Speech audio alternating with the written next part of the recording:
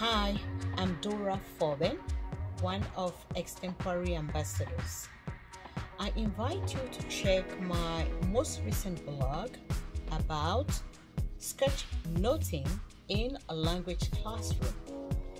In my blog, I focus on how I use sketch noting to instill speaking skills and content retention in students.